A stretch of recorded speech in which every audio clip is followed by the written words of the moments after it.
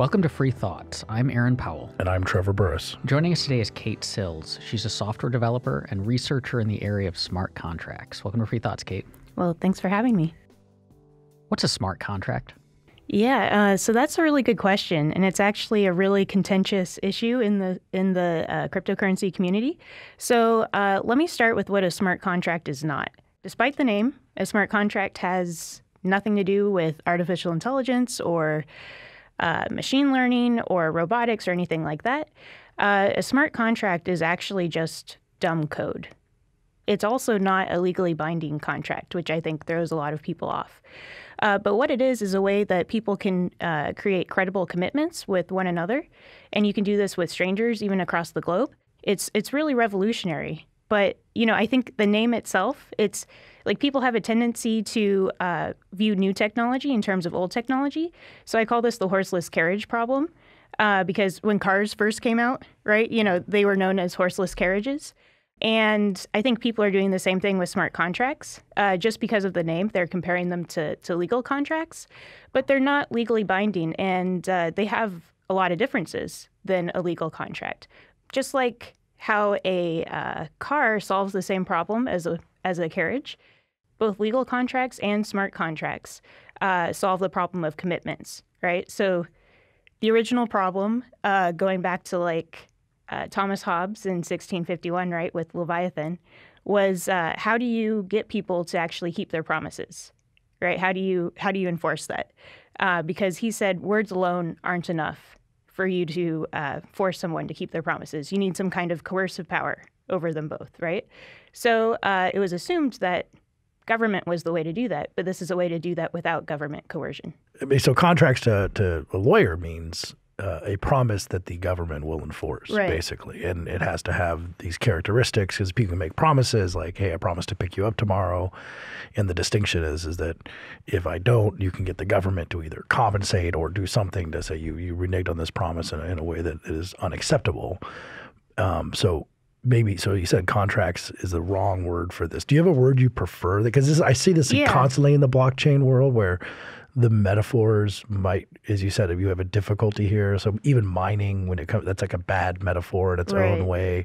Is is would there be some better way of calling them? Do you think? Like, are they itemized trustless agreement systems or something like that? Yeah, I I like the word, um, or I like the phrase self-enforcing commitments because I, I think that's that's what they are. Uh, once you release the code and it goes out to the blockchain, um, it's automatically enforced. Um, and I think the commitment part really uh, puts into perspective the the importance of it. Right, you're you're able to make agreements with all of these different kinds of people, even if you don't personally know them. You don't even know what the reputation is. Um, and so, yeah, I like I like the term uh, self-enforcing commitments. What's the relationship between smart contracts and blockchain? Because these, I mean, the notion that we could have contracts or contract-like agreement written in code could have existed I mean, as long as we've had code. Right. So, but these always get talked about in the context of blockchain technology. So, is there something about blockchain technology that enables these? Were these possible before? Yeah, yeah, that's a really good point. Well, we've always had kind of an electronic version of contract, right? So there's like EDI systems where you, you know, it's the contract itself is encoded and, you know, businesses will exchange information that way. But what is really important about uh, smart contracts is that they're enforced on the blockchain, so they're enforced by a consensus of your peers. So each computer that's connected to this network is actually running that code. And if they don't come to the same conclusion as all the other computers in the network, then the consensus breaks down to me, the, the really special thing is that having something enforced by the consensus of your peers uh, is something that we've never been able to do before. It's been the opportunity costs have been too high to try to do that, right? If I mean, in the time of the the founding fathers, if you were doing that, you'd have to like you know send letters to everyone, right? It's a it's a technological issue uh, that we've been able to overcome. Which I guess kind of the letters thing reminds me of a, a as I read a lot about the founding and, the, and you'd go to a new city uh, and someone like George Washington might give you a letter of introduction to take to someone that he knew in that city because you don't have a reputation, uh, and that's sort of the very very basic way of trying to get this kind of reputation economy as opposed to be it's like you know all these people sent letters and said this person is is reputable and they all agreed on it and they did it very quickly which is kind of what the blockchain does. But when it when it comes to the blockchain from what I know about Bitcoin and cryptocurrencies you have this other proof of work issue where where you have one computer try to solve a, a very difficult problem which makes it rare would that be a part of the smart contracts in the same way that it is for Bitcoin or, or Ether as a currency, for example? Yeah, so uh, so proof of work or proof of stake, or they, they have multiple different ways of doing it, but those are all ways to secure the system itself. And then um, smart contracts work on top of that system. Let's see, you can think of it as like so when you're trying to create a a ledger that everyone agrees on, um, it's almost like internet voting, right? So the problem of internet voting is you know, someone could just create multiple accounts, right, and be able to vote vote multiple times. It's like every IMDb music yeah. movie page, yes. Mm-hmm. yeah. So, uh, so you have huge problems with that. So the way that you cut that down is to make sure that uh, there's no one, there's no way that someone can actually create multiple accounts very easily. And the way to ensure that is to make them go through all of this work just to be able to have any say in the process. The system itself is secured by proof of work, and then smart contracts are built on top of that. And uh, so the code is run. So like the the smallest smart contract is just a transaction, right? You're just sending uh, money from one account to another. But you can add conditions to that. So you could say, you know. Uh, only send this after a certain time, and the money would sit in that smart contract until that time. Maybe that gets into more of the details that it would be upon X, the code would say upon when X happens, then release the money.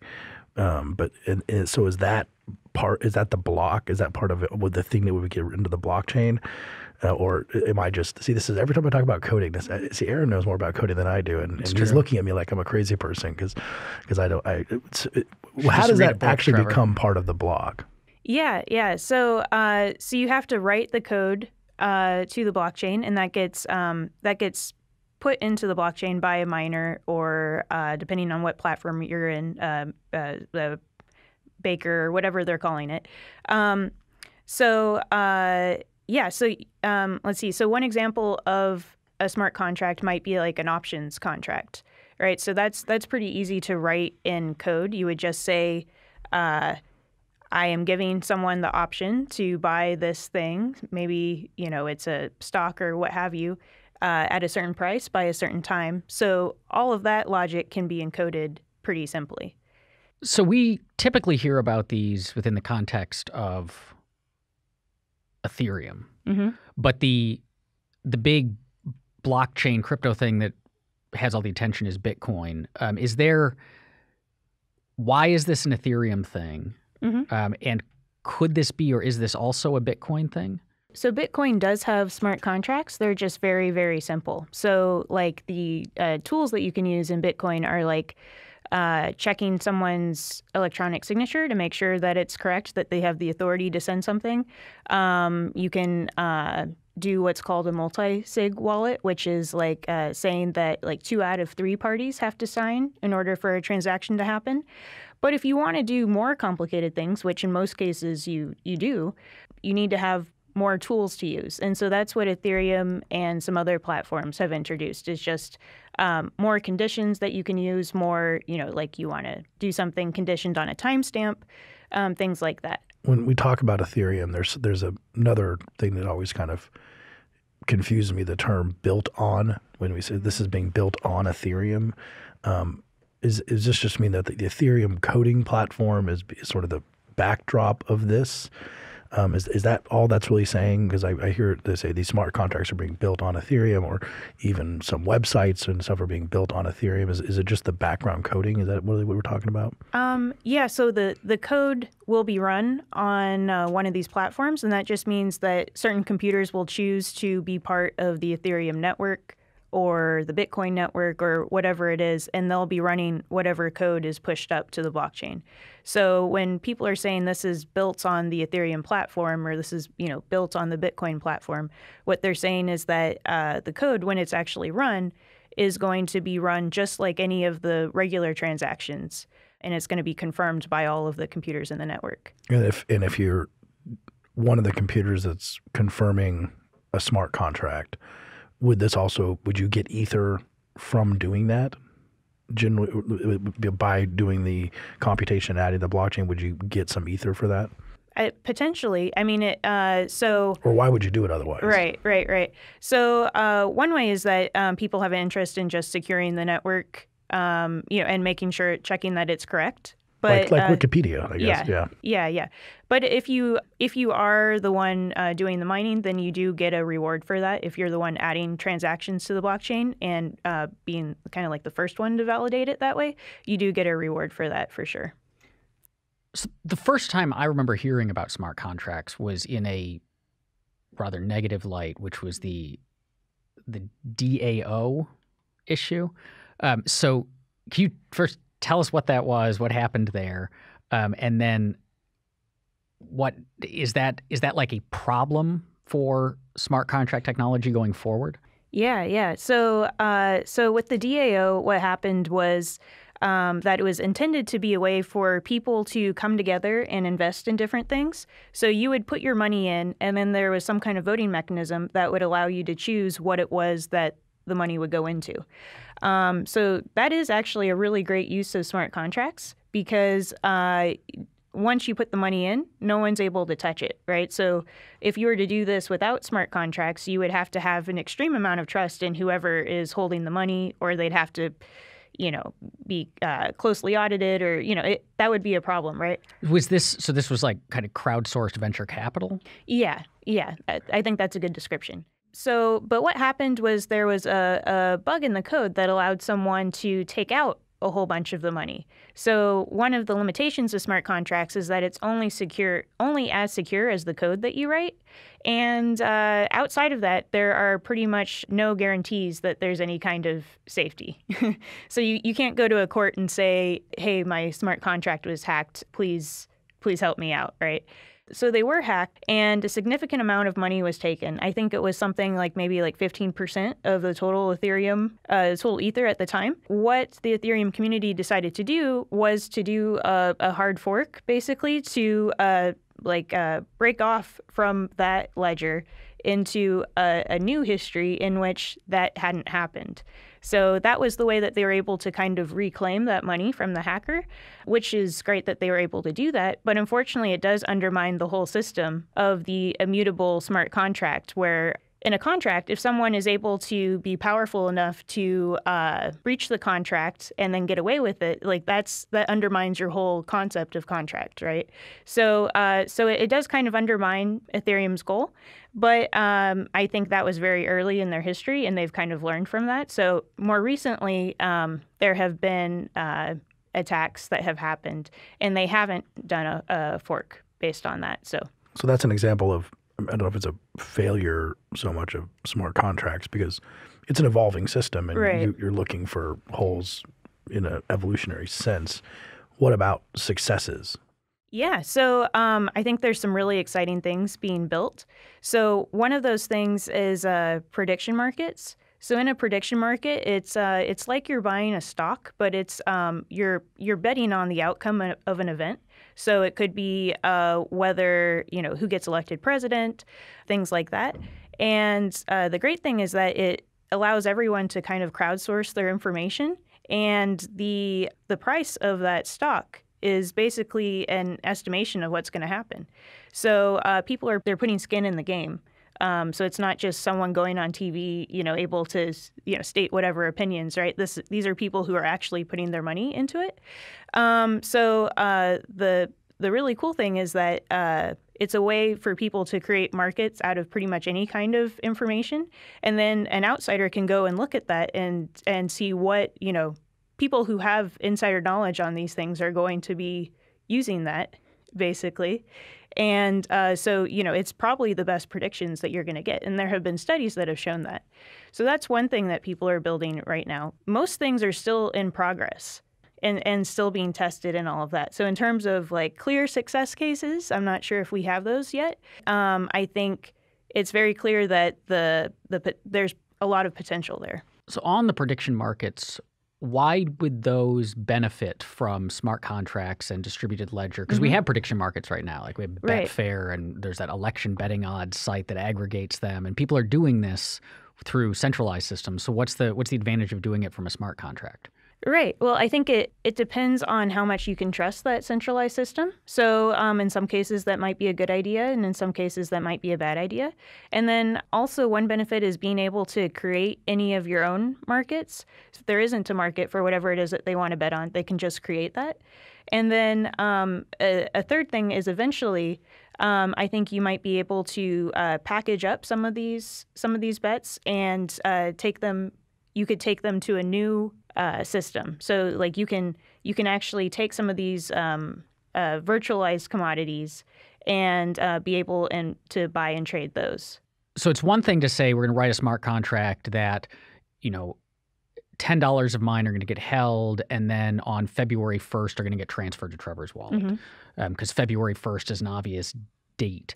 Um, but for more nebulous things, how do we what triggers the smart contract and how do we like it can't be you know there's a lot of there's a lot of conditionals that can't be themselves included in the code because it's like you know was the average temperature x higher this year or whatever. So how do you how do you trigger the terms and who gets to decide? Right right. So uh, so that is a major limitation of smart contracts is because they run on the blockchain and anything that runs on the blockchain has to be deterministic if you have uh, the same inputs, you have to get the same output. They can't pull down code from external sources. So they can't go to a website, uh, let's say a weather website, and pull in the temperature. Um, but what you can do is you can have people who push that to the blockchain. So in, you can't pull it, but you can push it to the blockchain. The problem there is Wait, that. Can you uh, clarify that sure. metaphor, please? Yeah, yeah. Yeah, so um, the blockchain itself can't go outside of it. Um, but someone, you can always write data to the blockchain. So uh, let's say you want to get data about the weather. Um, you can't go outside and access uh, weather.com or whatever it is, but you could have a trusted source go to weather.com, look it up, and write it to the blockchain. So the, the problem there is that uh, you're relying on these trusted sources, and they're called oracles. But there are uh, there are different ways that people are getting around that. Um, they're uh, these oracles might have certain reputations. Um, and you might be combining like five of them or something like that, so that even if someone manages to hack a certain website, you're not, um, you know, uh, ruining the consistency of the whole prediction market system. Um, so uh, that is definitely a limitation of smart contracts, but I think people are working around that. I mean, the interesting thing about from a legal standpoint is that in contract law we do talk about uh, the way that you know it's mutual obligations as a basic is what a contract is, and certain obligations trigger mm-hmm. counter performance. And so you can, let's take a rent a rental contract.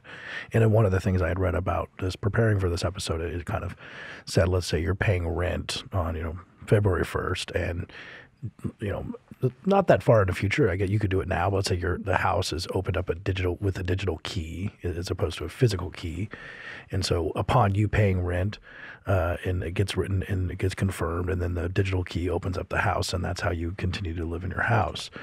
But there are multiple conditions that go into like renting a house, where so the maintenance of the appliances, for example, where people I, pe- people come to me and say all the time, it's like, oh my my fridge doesn't work, therefore I'm not going to pay rent next year, ne- next month, and I'm like, well, that that the the non-existence of the fridge obligation does not totally relieve you of your obligation to pay rent. In actuality, what we would do is we would negotiate, oh, uh, you know, maybe two hundred dollars off your rent, but that requires lawyers and things like that. That all seems really complex. And while you could just say, open the door, I paid rent, that's a smart contract. But but most disputes and rental disputes, for example, are not that. They're mm-hmm. how much performance did they give and how much performance do I have to give? And that's not that's not code. Right. It doesn't seem codable to me. Or, right. or maybe it is. I don't know. Yeah, no, I think that's a really good point. So the way that I see smart contracts is that they're they're only useful in certain cases. They probably wouldn't replace all legal contracts because um, you do have that uh, like what is it ex post like negotiation phase, right? Where Yeah. you would want to, um, you know, maybe the real world isn't exactly how you expected, and you need to renegotiate. I think uh, smart contracts are really useful for when you want a, a like very severely binding commitment, and um, you know, like for instance, maybe uh, you want to be able to make a deal with someone that you don't think would have your best interests in heart in that kind of negotiation, and you don't want them to be able to back out of it. You know, it, it goes back to kind of like what contract was for in the first place. So, you know, um, I had mentioned Thomas Hobbes, uh, you know, in Leviathan way back in 1651 or whatever. Um, so, you know, when when uh, the words aren't enough for to bind men, right? You have to. Thomas Hobbes argued you need some kind of uh, coercive power over them both. You know, smart contracts are used for that circumstance where uh, you don't think that this person will be able to work things out for you, or you don't think uh, the courts will actually be able to rule in your favor. So maybe you're not in the U.S., maybe you're in some other country where uh, this person that you're dealing with is a, a powerful figure who uh, might be able to bribe officials, or uh, you know, might the the courts won't necessarily rule in your favor. Or just Um, have more money for lawyers. Right. Yeah, yeah. That's a really good point. So, uh, Nobel Prize winning economist Oliver Williamson has this uh, this term legal centralism for the belief that courts are, you know, the, the best way to enforce contracts and, uh, you know, they're cheap and easy. And none of those things are actually true. It's not that smart contracts are, are cheap and easy either. But I think there may be certain circumstances in which they're more valuable than uh, taking it to a court. And, um, you know, it might depend on what country you're in. There's also the possibility for private arbitration um, on the blockchain, just because. Uh, so you can, you know, write and read things to the blockchain, and some of those could be the judgments of uh, private arbitration. You can, you know, encode things that you want to keep um, absolutely immutable and, and keep uh, and make sure that they're, they that they are enforced. And then you can also, um, you know, outside of maybe like the 95% of cases that you think you can encode, you could uh, send that out for private arbitration, like take that judgment as an input to this function. And so there's actually a lot of historical precedent for this. So back in medieval times, the merchant class, when they were going through all of the different you know countries and they would have disputes with people from different countries, there was no clear legal jurisdiction for them oftentimes. And even if they were able to take it to court, uh, the judge wouldn't necessarily know anything about what they were doing because you know they had all these specialized agreements and things. So they kind of created their own judges and their own private arbitration where they could just settle things right then and there. Um, and so I think this this law merchant is a you know can be used as an example for what could be possible with uh, private arbitration and blockchains. And private arbitration is used all the time uh, in you know commercial law. I guess I have a technical question about these then. Um, when when you were first telling us how they worked, you mentioned so if we were doing a payment thing that you know triggered on a certain date, that if I were going to pay Trevor on a certain date, I would take this contract would basically take a set of funds and lock them up within the contract and then release them to Trevor.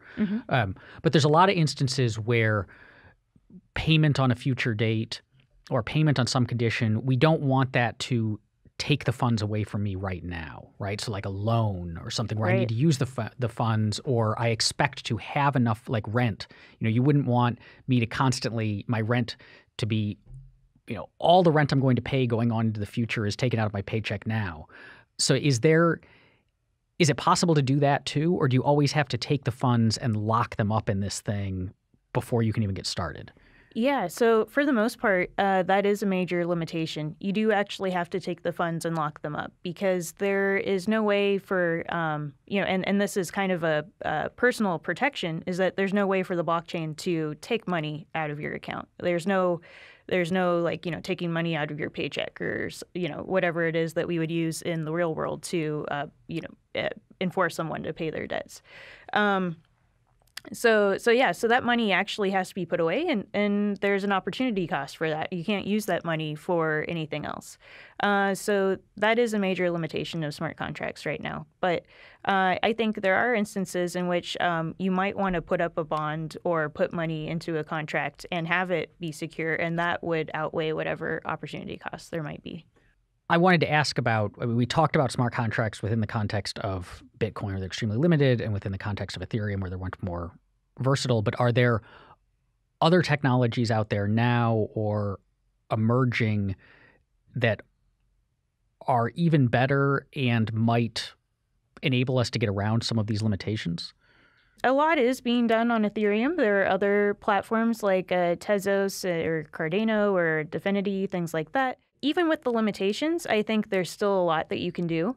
So um, we had mentioned prediction markets, a, a, lot of things where it's like you can encode all of the potential possibilities. So like financial derivatives, like uh, actually uh, Hernando de Soto uh, the Peruvian economist who wrote The Mystery of Capital, he's working right now on a blockchain solution for property title.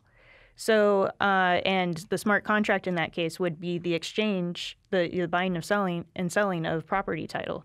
So, I think um, you, there are cases in which you can kind of uh, try to um, encode all of that, or at least like 95% of it, you, you want that to be enforced. So, going back to what you said, Trevor, about that kind of negotiation after the fact, there are there are a lot of cases like Alaska Packers or whatever that is where uh, you know you've made the contract, but then uh, once you actually go into performing on that contract, someone might realize that you've made that commitment already and try to take advantage of that. So if that's something that you're really worried about, the a smart contract might be the way to ensure that there is no way that you can renegotiate that once they've you know once you've already committed. You mentioned Tezos which I know from your Twitter feed is something that you talk a lot about. So, what is Tezos and how does it fit into all of this? Sure. Um, so, Tezos is kind of an Ethereum competitor. Uh, they started around the same time. Tezos put out a white paper in uh, 2014. And um, their focus is is trying to make uh, business contracts. Uh, so uh, the co-founders, uh, Kathleen and Arthur Breitman are kind of from, from the, the finance area. So they're hoping instead of Ethereum, which is kind of like you know smart contracts can do anything. so Ethereum has this right now. One of their major apps is this thing called CryptoKitties, which is like virtual uh, trading cards basically that have like a little cat on them, and you can uh, you can buy and sell those and like breed them together and get a new cat. So they're they've like very much embraced um, like you know you can do anything with this. But I think uh, Tezos is interested in um, using it for more of these like uh, business use cases where uh, you know you might just want a very simple contract just to make sure that whatever it is that you're trying to promise each other is actually enforced when when it comes to the writing the terms of the blockchain, how much of a problem is it that they getting them you can't it's hard to take things off the blockchain or if not impossible um, where you you make a contract with so you don't in PayPal I could I'd say I, I did a contract with someone on an eBay transaction and it was upon shipment of this thing, and then the funds are released and given to them and written to the blockchain. And then when I get it, uh, it's either defective or it's a, or maybe it's a counterfeit or something like that. Uh, how do you get? How can you go back and be like, no, no, no, no, I want my money back because it's it's it's written into the chain now that's something that people are working on. But um, part of the security of the whole system is that you can't go back and rewrite things. So people definitely don't want to undermine that. Um, but what you could do is you could have a what we were talking about a multi-sig wallet where uh, you know if everything goes well. Uh, the seller approves it, you know, you, the buyer, you approve the transaction, right? You've gotten your good and the transaction happens. But if something doesn't go right, then there might be some kind of uh, third party that would be able to kind of uh, adjudicate that and you know decide where the money should go. Um, so there's there are ways to get around that, but uh, the security of the system is you know based on ensuring that you can't actually change anything that's happened previously in the ledger. But but does that mean that maybe people for something like that the the blockchain is not the optimal I mean, maybe people, if you told them, uh, okay, well, this is really hard to take back, and we have a way around it, but it might take all these different things. But actually, this one of the services that PayPal offers is you can say stop stop this right now and and people say okay for so for maybe for ebay transactions the blockchain just won't actually be something people want to use in smart contracts in the blockchain. Yeah, well, I think it you know it really all depends on uh, what your use case is. If your use case is like ease of use, then the blockchain probably isn't for you, right? It's kind of like um, you know if if you don't care about who's looking at your email, right? You could just use Gmail or whatever it is, and that's probably the best option. But uh, if you you know, if you have a specialized case where you don't necessarily want to uh, trust someone like PayPal, um, you know, you are able to uh, make those exchanges with other people. And right now, it is a little bit more complicated, but I think we'll see a lot more of the kind of like user-friendly uh, apps. There's uh, there are you know decentralized marketplaces right now um, that have been working on that sort of thing, and so I think you know once that becomes more popular, it'll probably become more like, easier to use. A lot of libertarians like this tech, both the, I mean, blockchain and cryptocurrencies and smart contract, uh, because it fits into grand utopian crypto anarchist visions of, you know, you, have a presentation you did on smart contracts and ordered anarchy um, of, you know, we can, this is how we can make it so we don't need the state. You know that we there's there's things that we thought we needed the state for but we can replace them with technology. Um, and and I admit that's a really I mean for me a really exciting vision.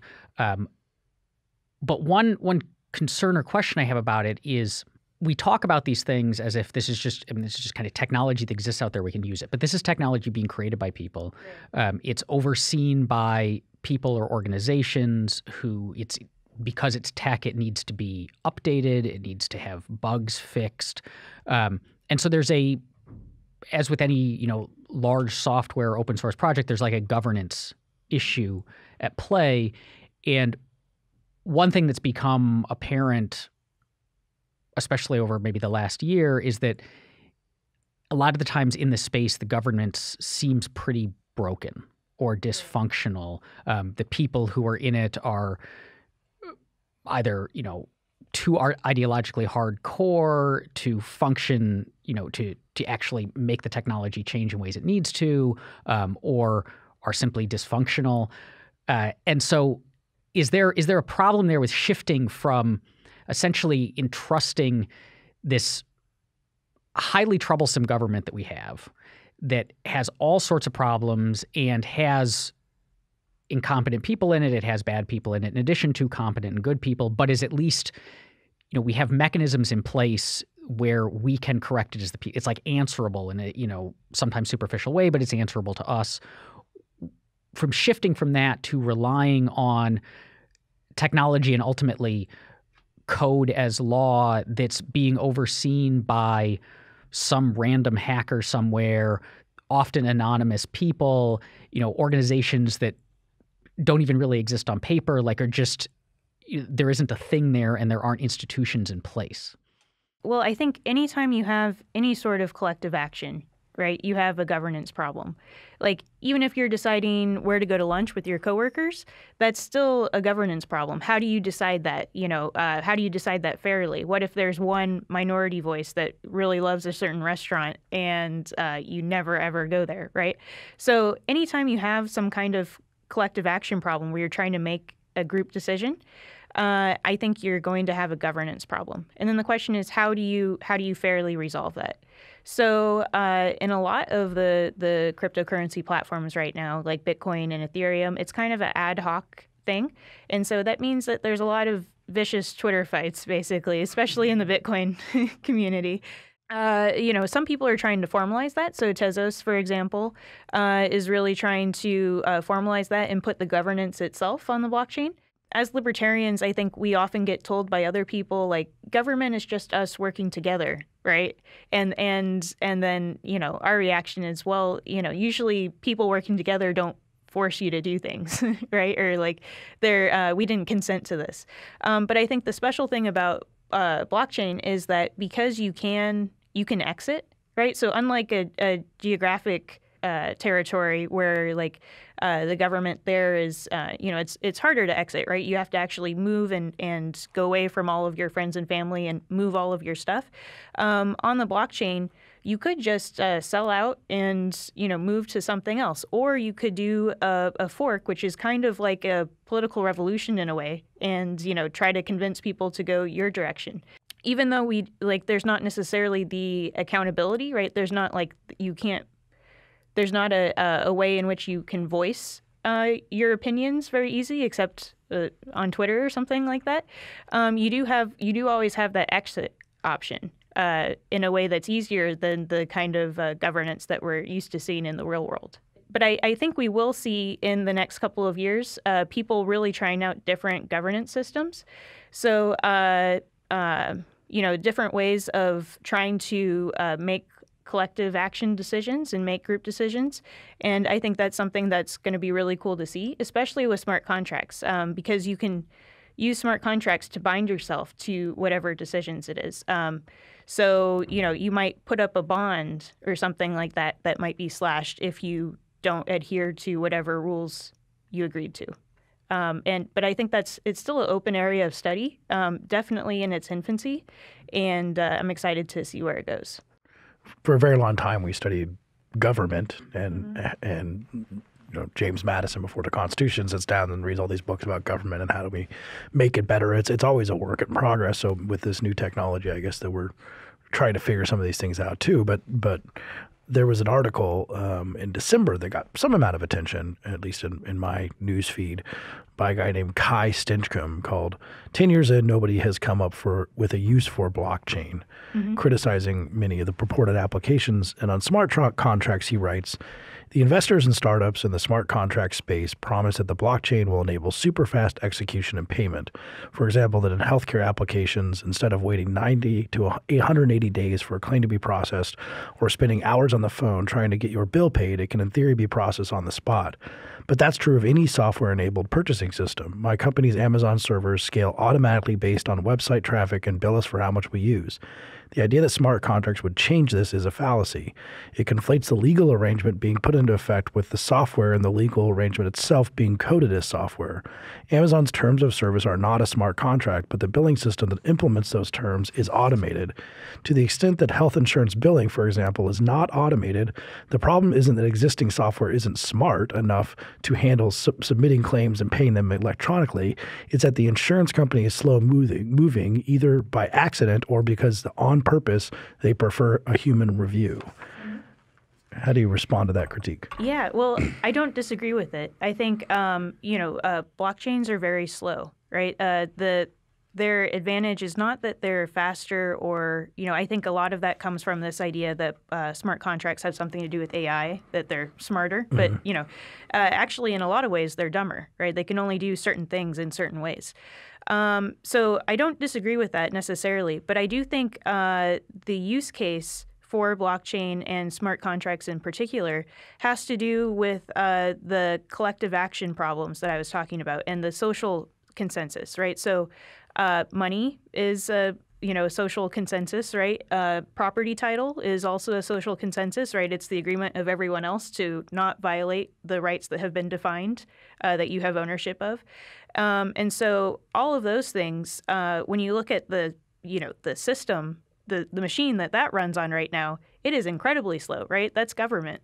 so you know, I have a friend who's been trying to get the title for his car for like almost a year now and he's been driving the car around, but he's he can't get the title for it, so he can't sell it, you know, and and all of those things. So.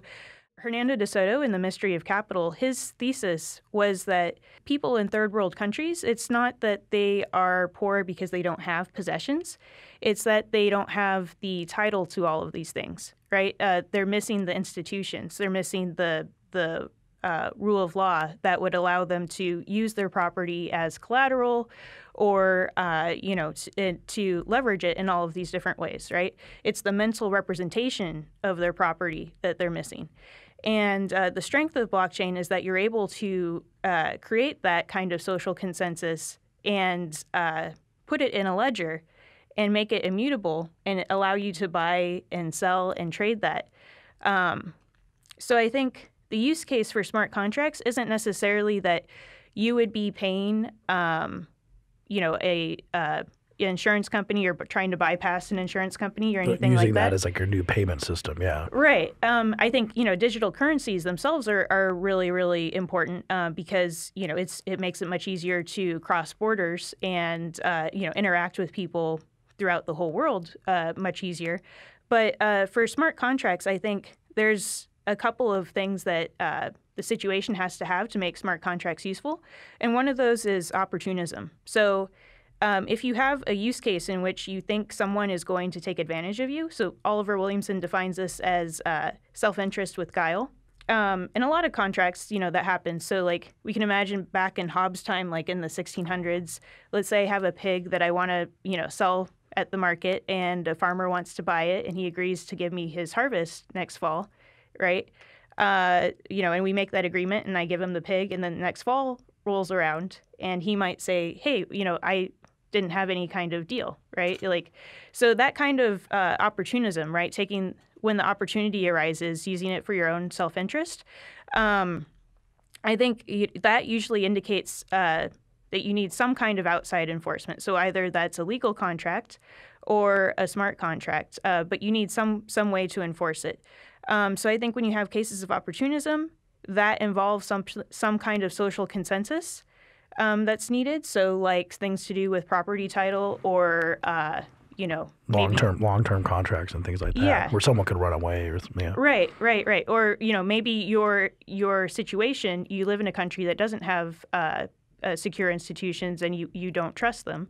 Um, I think that's where the blockchain really shines. Is that it's it's uh, the blockchain is not trying to replace uh, you know our our programming and our you know our our Amazon servers and all of that. It's trying to replace um, you know how we interact with each other and how we uh, try to get each other to cooperate. So it's trying to replace that collective action layer. So which is has for the most part been a service provided by government. And uh, I think if you if you look in most cases, that is incredibly slow if it functions at all. Are you familiar with um, the verification system for indentures. Uh, hanging on my office wall is a indenture, a contract written for someone to be in indentured servitude for seven years, coming over the standard story. The, the term indenture uh, actually means the scroll at the top of the contract. So when you were indentured and then someone held the indenture for you, it was a it was a big piece of paper, and you each had a copy, and then you cut it in a scroll, and the way you verified it was was to match them up against each other, and that's how you you know seven, years later you come back and like you know or twenty years, where you might look really different and you have to prove you know the same person. So you you put the two scrolls up against each other, and again it says this is the I'm the original holder of this. This is the indenture. It kind of is one of these technologies they try to invent to verify a, a, transaction and keep it over a long period of time as opposed to just a handshake deal. Like right now, you want these chickens, yeah, okay, here's some money, I'll buy them later. But if you have a 20 year thing, you might need something a little bit, a little bit more for that. Right, and yeah, there are a whole bunch of ways that people have tried to come up with to uh, make it more probable that someone's going to keep their promise, or like so. Uh, like Oliver Williamson and uh, other people in kind of the law and economics uh, subfield call this private ordering, right? So you might you might rely on like uh, personal ethics, right? You might only make deals with someone that you think is a good person, right? But you know, like that kind of information is hard to come by. It also makes you probably pretty poor. yeah, yeah. It really limits all of your transactions, and you might rely on like reputations, right? You might uh, ask other people, you know, what their previous transactions with this person have been. Um, and so, you know, in game theory, that's taking like a single instance game and turning it into a repeated game because people have an incentive to cooperate in order to ensure that the next, you know, they have uh, an opportunity to take that next deal. So I think, you know, um, what smart contracts provide is not necessarily uh, this is the way that you must do things. You must make this binding contract. It's a way to allow people in code to use whatever level of uh, mechanism that they need to use in order to try to ensure that someone will keep their promise. So, you, um, in a lot of these systems, you know, they're using things like reputation in order to try to ensure that. So, you know, that gives you a little bit more leeway in negotiations while still trying to secure that promise. The idea of it is that there is no one particular way that is above and beyond the way that you should do things. Different use cases, you know, need different types of tools, and this is a new tool that we have. You mentioned immutability and trust a fair amount, and that this is a way for people who might not otherwise have access to the rule of law effectively to use a trusted system that can't be changed. But at the beginning of our conversation, we talked about the DAO and hard forks, which was basically up and changing. Mm-hmm. And it's not and it's not just so if if you and I make a contract and then a corrupt state court decides not to enforce it or rewrites the terms or something like that, our contract has been screwed up, but a contract that I have with Trevor still is around, right?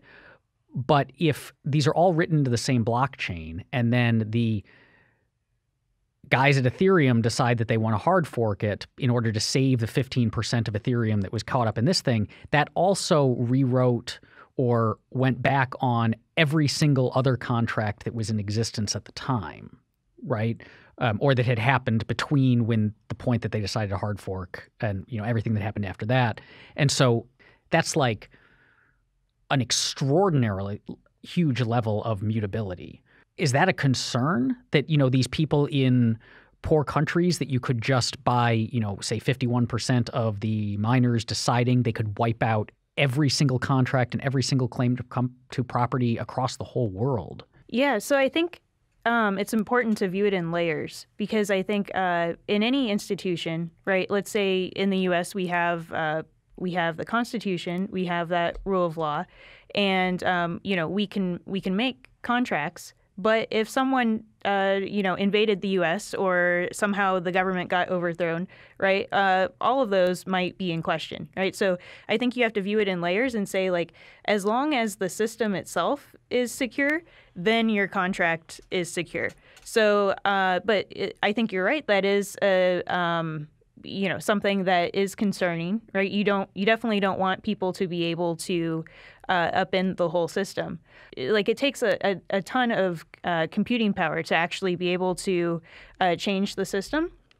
And you have to convince everyone to go along with your hard fork if that's the case. Otherwise uh, you might find yourself in a you know a very minority fork where your value goes way down really only in very worrying cases that this hard fork scenario might actually happen. I don't think that the example that you gave of a you know contract just between you and another person would not be uh, a case in which that would happen. So the the good thing is is that unlike court that we might experience in real life where we might have fickle decision or a biased court or you know in a different country maybe um, you know, someone might have been bribed or something like that. On a instance per instance level, it's probably very, very unlikely that it's actually going to be uh, changed, you know, or that it's going to be undermined, unless it's something that you're making a deal that is so big that it's like, you know, 20% or 30% of the you know money in the system that might be something that people will try to mess with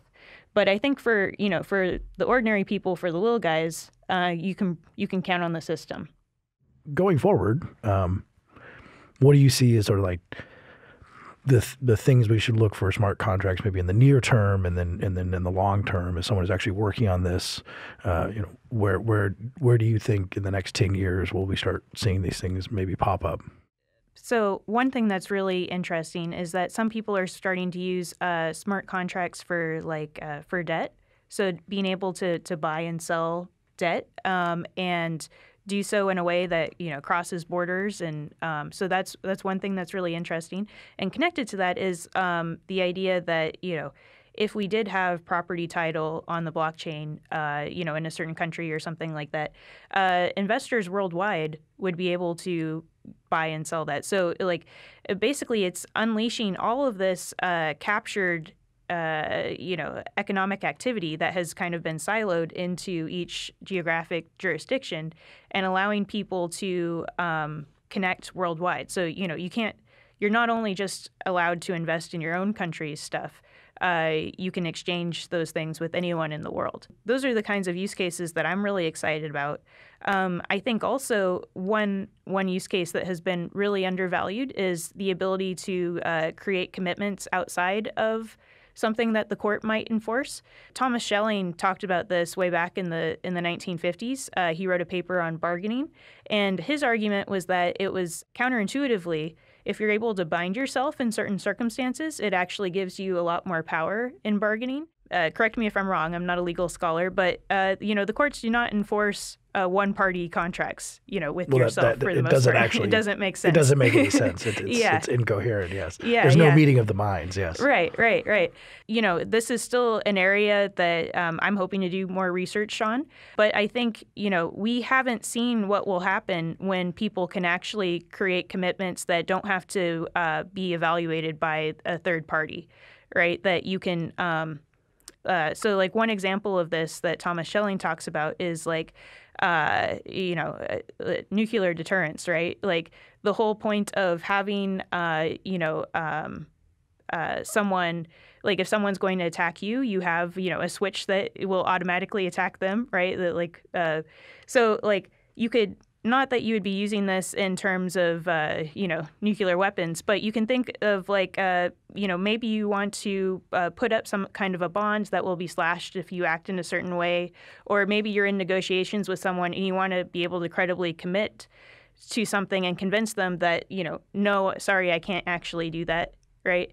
Uh, like so, for instance, let's say uh, you're an employer negotiating with the union or something like that, and they would like to uh, raise wages and if you're able to say sorry you know like it's literally not possible for me to do that that actually gives you a lot more bargaining power As opposed to just say it, like actually commit Right. yourself. yeah yeah so there's ways that we just have not explored because we haven't had the the tools to do that and in this paper thomas schelling says it's uh, it's actually astounding that people that there's been no way to actually have these kinds of commitment devices with that and with private arbitration and on the blockchain um, and being able to do this outside of all of these geographic jurisdictions i think there's a lot of potential that still is left to be explored. And i'm hoping you know people who are experts in law and economics get really interested and uh, you know start start exploring because it is kind of a sandbox for exploration, right? Like if you admire James Madison and you you know you, you're interested in like Montesquieu's like uh,